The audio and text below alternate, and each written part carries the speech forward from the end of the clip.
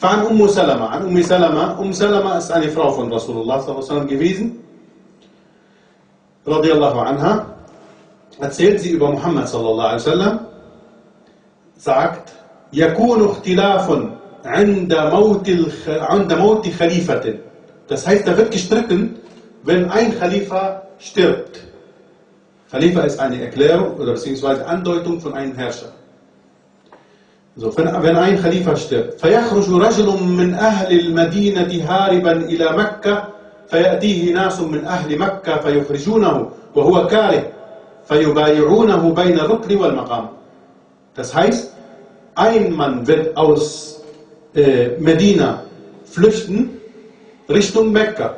Da werden die Leute von Mekka, die Mekkaner werden ihn treffen und sie werden ihre Eid, ihr Eidesschwur leisten bei ihm zwischen Ar-Rukn wal Maqam. Ibrahim salamullah alaih, das ist ein paar Meter weit von Mekka, von, von äh, Kaaba. Dort wird er stehen und dort wird, werden die Menschen ihre Hände zu ihm einreichen. Imam Mahdi salam.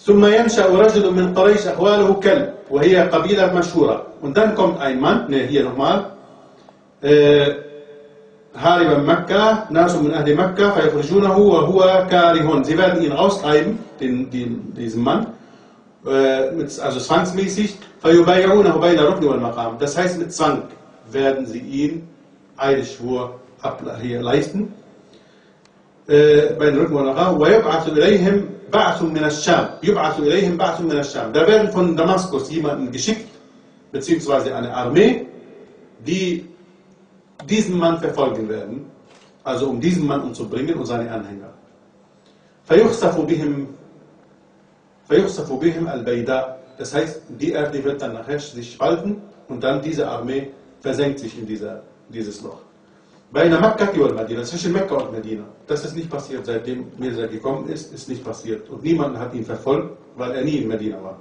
oder in Mekka.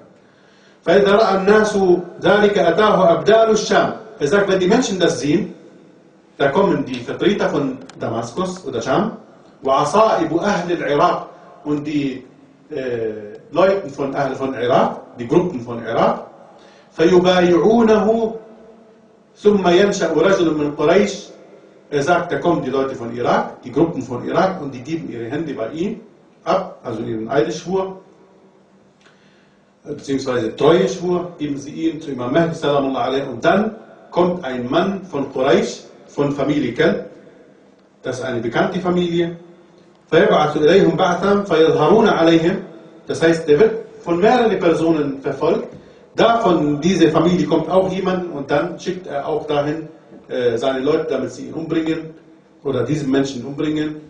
Ne? Äh, aber die werden besiegt werden, das heißt, sie werden verlieren. So. وذلك بعث كلب والخيبة لمن لم يشهد غنيمة كلب فيقسم المال ويعمل, also das ist nicht so wichtig, auf jeden Fall, wie das verteilt wird, die Beute und so weiter. So, كناية عن إشارة ثبات وتطبيق أحكامه das heißt er wird sich befestigen und er wird sich also Mahdi salam er wird diesen Menschen besiegen und er wird sich durchsetzen und er wird das schaffen zu herrschen und nicht sterben vielleicht wissen wir auch alle wo er gestorben ist dieser Mirza ne? Sie haben das verleugnet dass er in Toilette gestorben ist aber ich habe nachvollzogen das ist eine Lüge dass er im WC gestorben ist das ist wirklich eine Lüge die Muslimen haben äh, das falsch interpretiert. Die Toilette wurde zu ihm hingebracht. Als er im Sterbebett lag, er konnte nicht mehr auf Toilette durch seinen, seinen Durchfall, brachte seine Frau die Toilette zu ihm. Das heißt, wenn man sagt, er ist in Toilette gestorben, man darf das nicht sagen. Ne? Man soll sagen, seine Zimmer ist zur Toilette umgewandelt worden und dann ist er gestorben. Das heißt, er ist doch in Toilette gestorben, aber wir lügen, wenn wir das sagen. Ne? Also nicht dort, da wo man hingeht, sondern die Toilette ist zu ihm gekommen und dann ist er da, dort gestorben, weil er nicht mehr stehen konnte.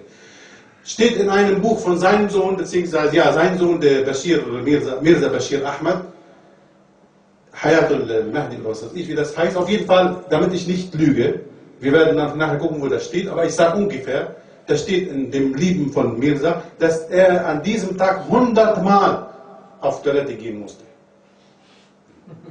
durch einen Durchfall. Was war das? Cholera. Das war eine Krankheit in Indien. Und das traf ihn. So, das sehen wir, inshallah. Damit Sie nicht sagen, Hamza lügt. Das heißt, ich mache so einen Clip und steht Hamza lügt unten. Ja klar, ich lüge, wenn, wenn, ich, wenn ich euch nicht zeige, wo das steht, das ist eine Lüge. Aber jetzt, heute werden die Ahmadis das sehen. Alle werden sehen, wo was steht. Viele Ahmadis wissen das nicht. Übrigens, viele von denen dürfen das auch nicht wissen. Und ich hoffe, dass Allah subhanahu wa ta'ala sie recht weit, diese intelligenten Menschen, die diese Gruppe angenommen haben oder sich zu dieser Gruppe angeschlossen haben, mit der Hoffnung, dass sie zu einer Erlösung kommen. Aber wenn sie sehen, dass das wirklich alles äh, Spielkram ist, dass das alles nicht zugetroffen hat, was er prophezeit hat, ne? und wie das alles gelaufen ist, was das für eine Person gewesen ist, der hat mit denen gespielt, als ob er hier äh, Tischfußball gespielt hätte. Echt? Der hat diese Menschen so ausgenutzt. Ich kann das wirklich nicht, nicht fassen. Wie konnte man diesen Mensch folgen damals? Obwohl dass er jetzt oft, so oft gelogen hat, so oft die Menschen angegriffen hat. Der wurde eingesperrt. Der wurde gezogen zu einem Gericht, weil er eine verheiratete Frau belästigte. Das soll ein Mahdi und das soll ein Prophet gewesen sein. Aber das kommt die Zeit. Und wie hat der Hadith? Auf jeden Fall, hier steht die Erklärung davon, wie das alles passieren wird. So. Jetzt gucken wir, ob das zustimmt, ob das zustimmt zu dem, wir haben die Beschreibung gesehen. Es gibt noch ein Hadith, ein schöner Hadith. Er sagt, der Mahdi, salamullah alaih, wenn du ihn anguckst, sieht wie ein leuchtender Stern aus leuchtender Stern. Seine Zähne sind perlenweiß. Seine Augen sind schwarz und groß. Die Beschreibung von Muhammad. Und er sagt, wer mich vermisst in dieser Zeit, soll sich Imam Mahdi salamullah angucken. Denn er ist ihr gleich.